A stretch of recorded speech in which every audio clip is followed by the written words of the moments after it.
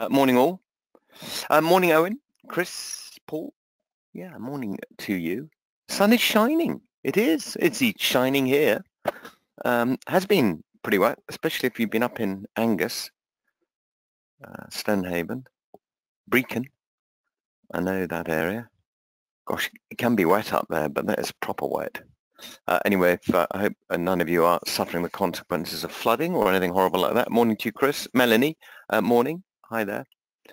Uh, so, yeah, uh, well, yeah, I mean, it's interesting when Stuart says that the indices have suffered um, a lot um, last week, and they have. But what's actually interesting is that how little the indices or stock markets, generally global stock markets, have reacted to what's happening in the Middle East, bearing in mind all the dire sort of statements about Third World War, all the despots in China and North Korea, Russia, uh, Iran, Syria, and, and here we are, you know, the markets, yeah. Well, they're not, they're not they're not collapsing, are they? Well, they're not shining, but they're not collapsing. What I what I mean is, you know, you can get a 10, 15% fall in markets. We're only back down to levels we were at the beginning of October after all. Um, it's not like it's um, um, a route. Uh, anyway, uh, another tough week, as Stuart was saying, for global markets. All major indices uh, fell in response to this escalating conflict between Israel and the uh, uh, Hamas uh, terrorist group, as they're called. Um, obviously, gold, which is a sort of a bit of a lightning rod for all that um, geopolitical, global, macro stuff, um, continues to rally, um, along with a further rise in sovereign bond yields, which um, actually is not something you'd expect if indeed there was a, a big geopolitical global macro deal uh, because uh, you'd expect there to be a rush into bonds, and that's certainly not happening. Uh, anyway, anyway, anyway. So, um, well, it's the uncertainty, isn't it? We we don't know what's going to be happening next. Um, there are aid trucks. Apparently, they've allowed a second convoy in. Um, the UN estimates that they're going to need hundreds of trucks of aid, not 20 or 40 or however many have gone in um, to alleviate the significant um, suffering that's happening there. Um, and just looking at the news over the weekend, I was just looking at the BBC. They were saying that uh, um, Israel has struck some sites in, in Lebanon. Um, anyway, I, I, I read about uh, some of them. They, um, yeah, 14 aid trucks arrived on Sunday and another convoy has gone in uh, overnight. Um, it's just not enough. Um, do trade people trade the bond markets? Absolutely they do, Owen. I, I, I think the problem with the bond markets is that it not not everyone understands them uh, the way that the price uh, trades inversely proportional to the yield, uh, and they can be absolutely dead. Uh, not so, not dead at the moment. There's been some significant moves. Um, I trade them on markets, but partly through uh, my own investing as well, um, and you can get some great returns um, on on um, bonds, sovereign bonds especially, uh, that are particularly safe um, but there's been some big moves. I'll get onto that in a second, actually. But uh, in answer to your question, yeah, the U.S. Treasury market, the, U.S. sovereign bond market, is absolutely huge. Every single fund manager anywhere in the world will have some exposure to it. Yeah. Uh, anyway, um, so uh, this war, uh, no signs at all of uh, this war abating whatsoever, and that's despite who have we had out there now? I think Scholz from Germany, Biden from the US, Sunak from here in the UK. I think Macron's going out this week. I don't know what the purpose is. I think, uh, well, diplomats like to see if they can try and help the situation, um, showing their support for Israel on the one hand, but also looking to prevent an escalation of the conflict because it's going to affect all of us if oil goes to $120 or something. Um, and when I talk about an escalation, obviously, uh, with this larger Hezbollah terrorist group, which is based in southern Lebanon and is um, financed by um, Iran largely.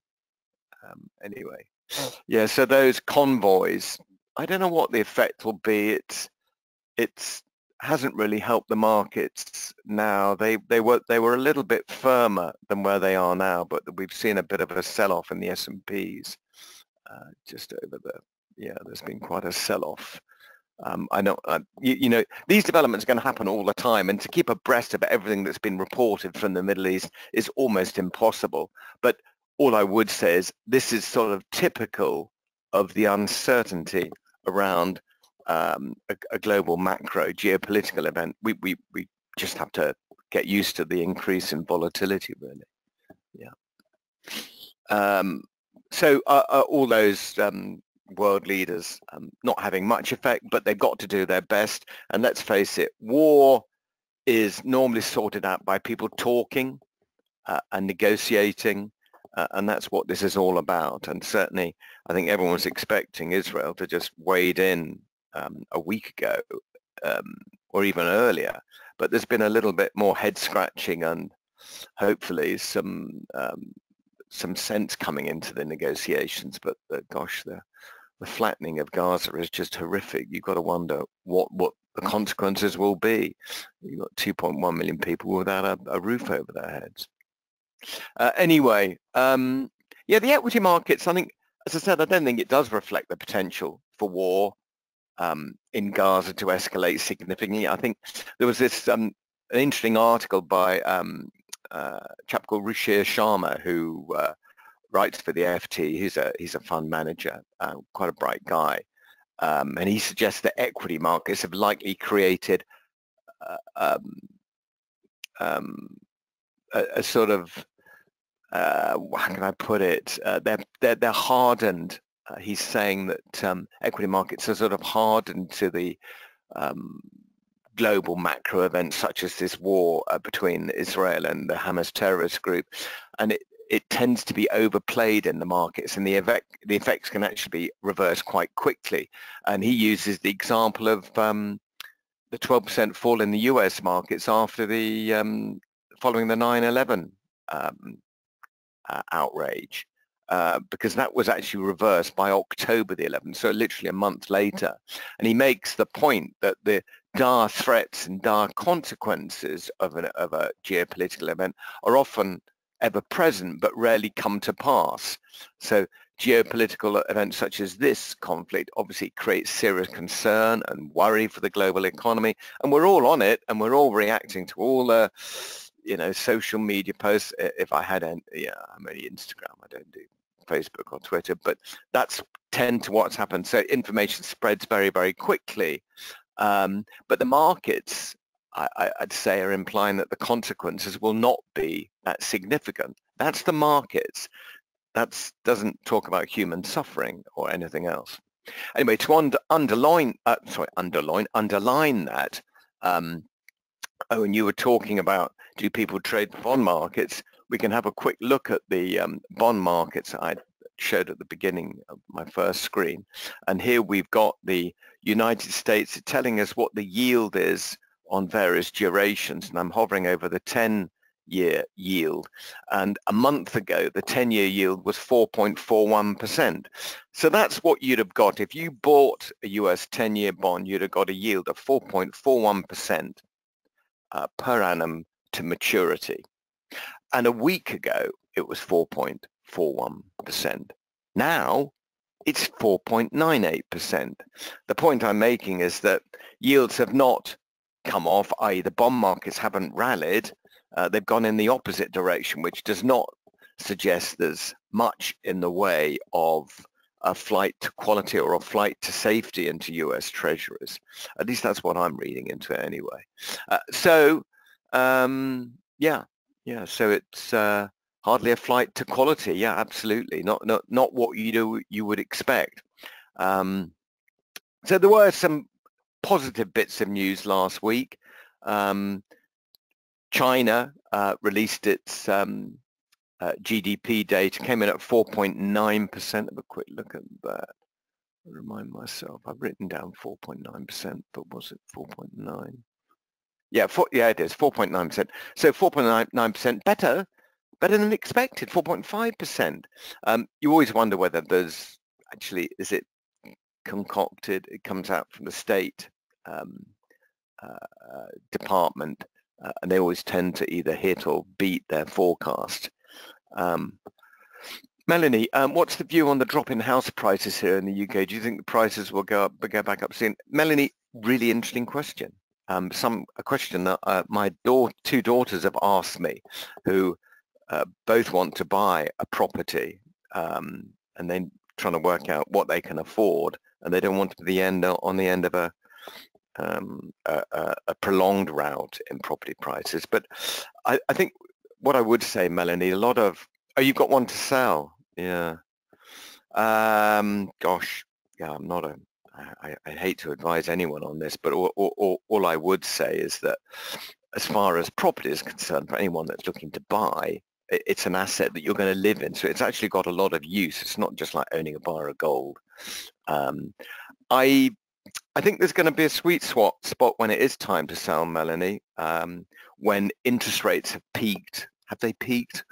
we're not sure. We'll have to wait and see what the Bank of England have got to say at the beginning of November.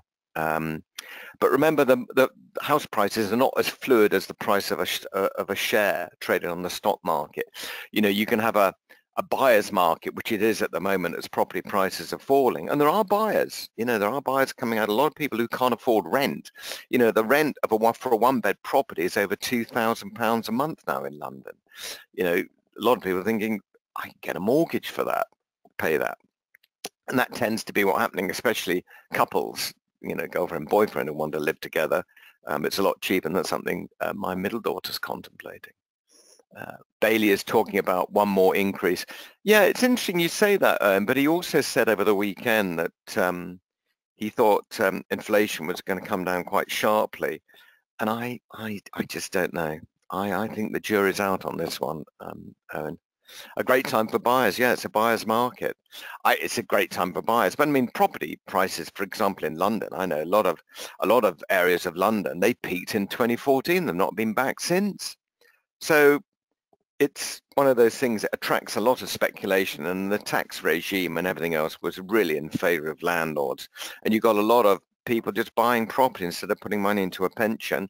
And now they're on the other end of it. Um, a friend of mine who's a letting agent for Foxtons in London said that some of um, their clients have seen that, that that's landlords, that is, who, who let through Foxtons, have seen um, their um, interest rates, uh, the cost of their borrowing increase by threefold.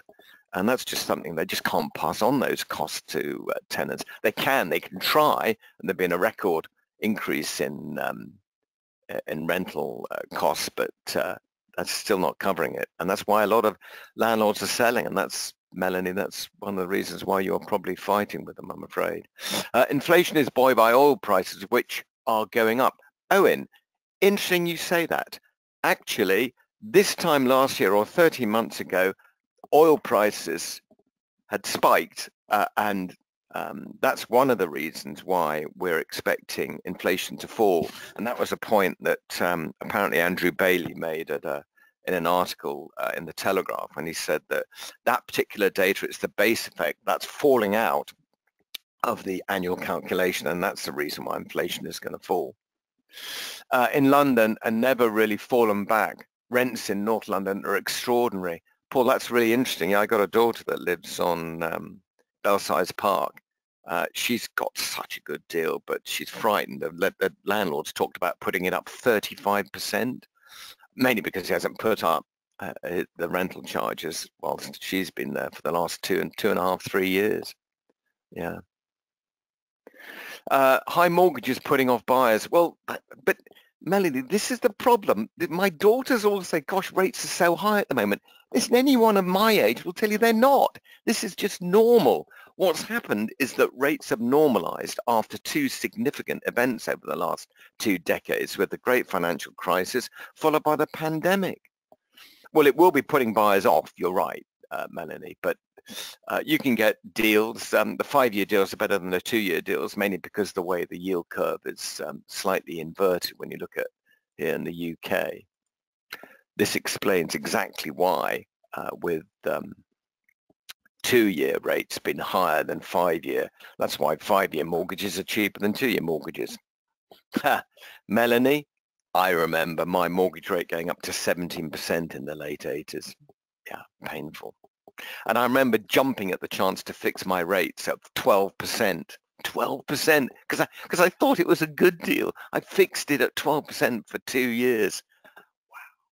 Yeah, and you tell my daughters that, my oldest daughter, when I said you need to stress test your mortgage and just see what happens when rates go to 5%.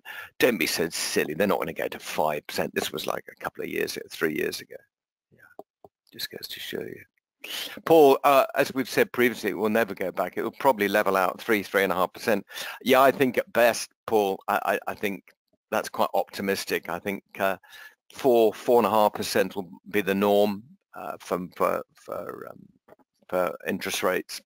Maybe maybe four percent, but mortgages could come down because you know they're they're not based on um, well, they're not based on the variable rate. They tend to, eh, well, certainly the fixed rate deals, they're based on what you're looking at on the screen here. Yeah. Uh, anyway, so markets, tough old times, as I said. Um, so FTSE down 206, DAX 318 down. Uh, so that's what, 2.7, 2.1%. The Dow 540 down um, 1.6%. S&P 100 points down 2.3%. The NASDAQ, as always, the one that sort of tends to um, fall the most and rise the most. That was down um, uh, 400 points exactly. Uh, that's not the Nasdaq. That's the euro. Oh, what's happened here? Uh, apologies about that. Gosh, don't know. Uh, it, it, it, yeah, it happens. It happens sometimes. Um, anyway, um, we were talking about all sorts of things. China, better, um, better data in China, but that's that's what happens when you talk about China. Yeah. Um, anyway, those figures about uh, GDP were better than expected, five and a half percent. Retail sales better as well, um, and I think it's sort of given a bit of a fillip to the world's second largest economy, which let's face it, has really been struggling. Um, and you only have to look at the likes of the uh, Hang Seng go tumbling again. Look at it today. Yeah, there's all sorts of talk going on at the moment. You've got this, um, you know, the, the, the, big fallout really from the property and house building sector. And the reason why it's a big deal is that, gosh, up to sort of 35, sometimes 40% of the Chinese uh, economy is based on property and house building. So you can understand what effects that sort of having. Um, Evergrande, you've, you've, heard that name, um, has racked up debts of 340 billion over the past few years. Um, and there is absolutely no short-term solution to its problems uh, because when a company is having problems like that, it's normally down to the sector. Uh, and the property sector really is just struggling from uh, what's described as years of over-expansion. Uh, and then Country Garden, you've heard, have you heard of that one? That's the private house builder, and that's likely to default on a tranche of its offshore bonds, and that just affects the market even more. Anyway, um, so China, bright point with the, the GDP data, but the outlook still does not look brilliant, and that really, uh, you can see that in the um, Hang Seng, the way that's fallen. Um, but that's falling in common with other indices. It just tends to fall further. In fact, the Hang Seng, what did that do last week? It's about about 700 points down last week, so it's close to 4% compared to, you know, the S&P down 2.3%, uh, NASDAQ down 2.93%. So, uh, yeah, in context, it's um, uh, one of the bigger moves. Uh, anyway, yeah, here in the UK, yeah, um, inflation. We had inflation last week came in uh, unchanged um, from the previous month, although I think economists expected a slight fall.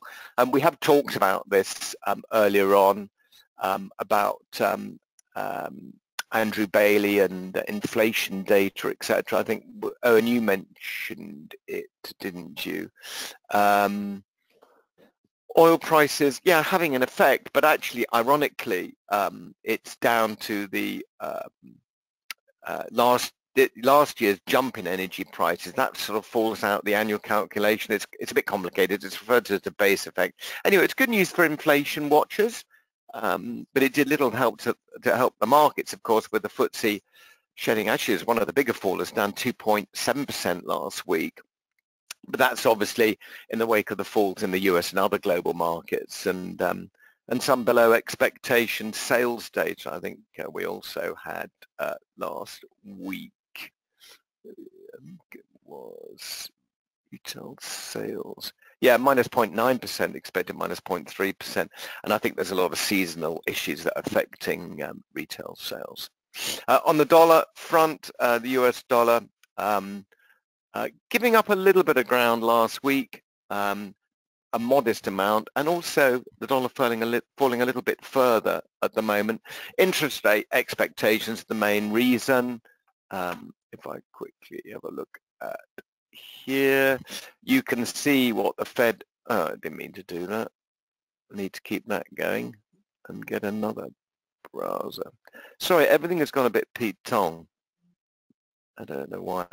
I know it's something to do with a antivirus thing. It's scanning at the same time as it's trying to look for malware, which is really throwing a spanner in the works.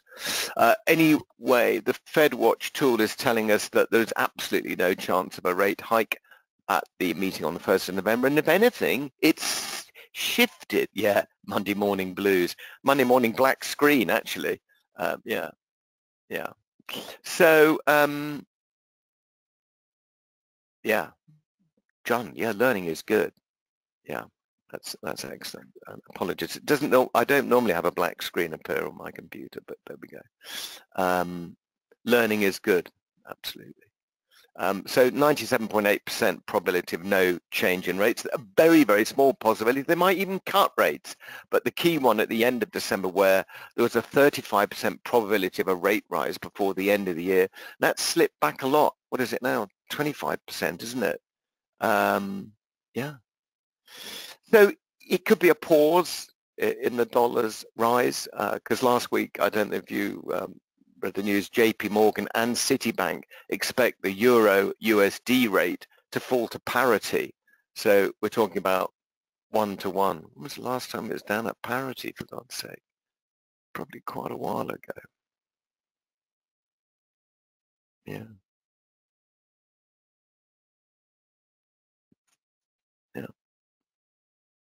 So anyway, that's what they are reckoning, um, but um, a little way to go just yet. Um, know, it's JP Morgan, JP Morgan and, and Citibank were those two, yeah. Uh, okay, let's have a look at the calendar, most important. There's my calendar. Um, yeah, it's a bit difficult with the uncertainty created by this Israeli um, Hamas uh, conflict.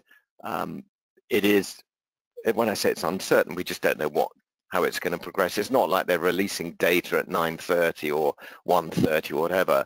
Um, it, it's, it's just, you have to react or the markets will react to it, uh, you know, day by day. Um, but there are equally important known events for us to focus on, so let's have a look at those just remove the high, uh, low impact ones. Uh, okay, uh, nothing on Monday. No, no, absolutely nothing, nothing worth talking about. Uh, clock changes back one hour Saturday and Sunday morning. Very good point. Very, very good point, which is what they'll talk about next week. But you're quite right. So uh, daylight uh, savings shift, we call it going from British summertime to British wintertime or GMT. Um, anyway, that happens on Sunday, whereas, let's go back a week. When does it happen in the US? It's a week after that, isn't it? It must be.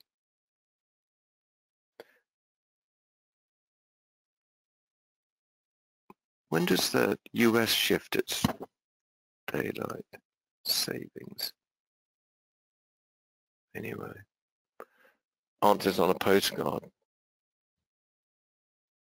Um, okay, so uh, Tuesday uh, we have all this uh, Um, sorry, uh, sorry, UK claimant count. That's a very good point. So we've got the uh, uh, US, uh, sorry, UK unemployment data. It's called the claimant count. There is a sign of a softening in the employment market. So we'll wait and see what that data says. But 2.3, so 2,300 uh, new claims. Um, the trend, I think it's two weeks later, is it? Okay, yeah, it's interesting. I should have looked two weeks later.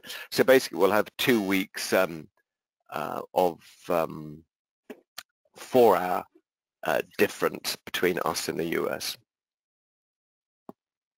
Just check that. Yeah. So Sunday the 5th of November. Yeah. Thanks very much for that, Michael.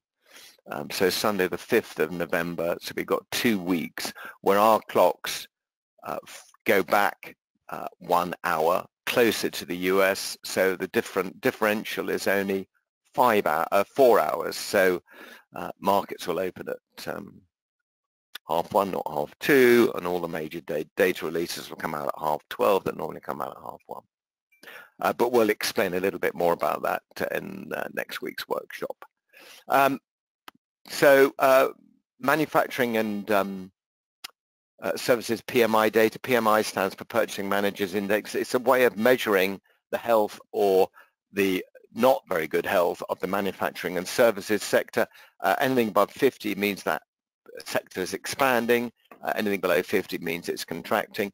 You will note that there's a modest uptick expected in some of the manufacturing numbers in both the Eurozone and in the UK, but actually it's only really modest and it's still below uh, 50, uh, marred below 50. Uh, in fact, I've heard the description uh, with the uh, French um, manufacturing at 44.4, the German manufacturing at 40. This is, it's, it's pretty dire. It's marred and dire. Uh, yeah. No, no problem. no problem. It's one week difference, is it? Yeah. Okay, so it's ours at the end of, um, yeah, okay, that's a good point. We jumped ahead one week. One week for the UK and two weeks for the US, so it's a one week difference, you're quite right. Um, so that's flash manufacturing and services sector. Yeah, the economy is split into two sectors, really. Manufacturing tends to be quite small, especially here in the UK. It's only about 20% of GDP. Um, services about 80% here. In the US, manufacturing is, is a bigger deal, but uh, the service sector is still by far and away the largest sector there. Same in in the eurozone, especially in, in the likes of Germany, which has uh, seen its manufacturing uh, sector absolutely implode with China slowing down and uh, the effect of the uh, spike in um, energy prices, especially gas, which they used to get from uh, Russia. Uh, okay, what's next after that? Wednesday, we got our first, uh, our only, is it our only uh, no, sorry, it's one of two. What am I talking about? Uh, Bank of Canada policy decision.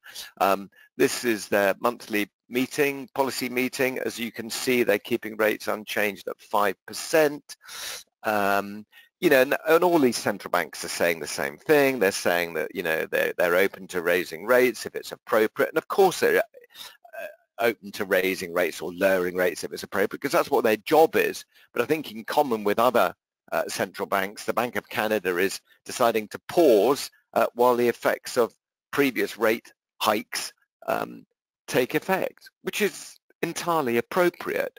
Um, but I think um, you're going to hear that a lot from uh, US um, decision makers on the FOMC, Bank of England decision makers as well. Uh, anyway, the Canadian dollar will be particularly sensitive to that, so just remember that, bear that in mind uh, on um, Wednesday afternoon. Then there's the press conference at 4 o'clock, which could be interesting. Uh, Christine Lagarde, chairperson or chair of the European Central Bank, is talking Wednesday evening. She's speaking at a bank uh, dinner uh, hosted by the Bank of Greece in Greece. Um, could be interesting, especially ahead of uh, the rate decision for the uh, Eurozone the following day, which is next on my agenda. So uh, the main REFI rate expected to be left unchanged at 4.5%. Uh, no change. Yeah, that's uh, same as last month. Um, and I think really with what's happening with the Middle East conflict, it really adds uncertainty about economic activity and having shown you what's going on in the Eurozone with regards to manufacturing and service sector data, you can understand why uh, the European Central Bank will want to pause their um, uh, rate rising um, cycle. And it's possible that we're, we're close to the end or at the end uh, in the Eurozone and possibly in the UK, possibly. Um, US, we've then got uh, GDP uh, data was that advanced GDP data. This is the third quarter, which is from July through to the end of September, June, July, August, September. Always extraordinary. They can get a number out by the 20th or the 23rd or whatever it is, the 26th of the month, um, which is a, a, measure of the output from the whole US economy. Anyway, they've only got about 40% of the data. This is the very first reading. Um, there are four readings. It's before the prelim data one. It's called the advanced. 4.3%. That's why the, you know, um, US Federal Reserve, the rate setting committee, the FOMC, have got a bit of a headache because it's got a particularly strong economy, far stronger economy in the US than there is anything to be seen here in Europe uh, or in the Eurozone. Uh, we're in a different, a diff, we're in a different lower league, that is for sure. For now, yeah. yeah. Uh, we then have a press conference at 1.45, which would be quite interesting on Thursday, just to get a take on what, why they took the decision that they took and also give us a bit of a clue as to any further moves um, in the coming months. Uh, then uh, towards the end of the week or on Friday, it is the end of the week, we have the favoured um, uh, personal consumption expenditure. This is another measure of inflation.